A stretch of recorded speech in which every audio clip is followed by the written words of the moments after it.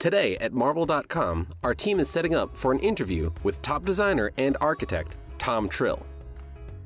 Marble.com is the leader in the industry. Our technology, inventory, fabricators, installers, and turnaround is second to none.